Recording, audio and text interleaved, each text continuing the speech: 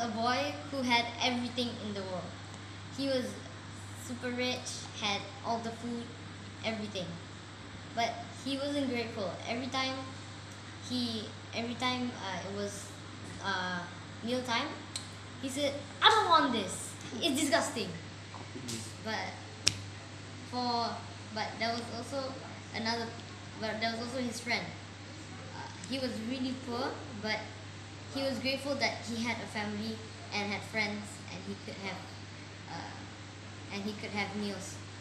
Uh, but uh, so every time they met each other, they, the poor person always said, "Hey, can I come over to your house and play games?"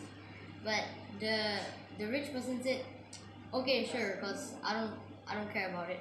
So when they went over, he the the poor person played, and uh, then when he went home, uh, he the the rich person was like, "Dad, can you buy me a new gaming setup?" And he's like, "Okay, fine." So when he got the new gaming setup, he's like, "I don't want this." So the whole thing went uh, on and on over again until uh, the father was really angry at him. So then he got scolded, and then uh, he started to become grateful like his friend.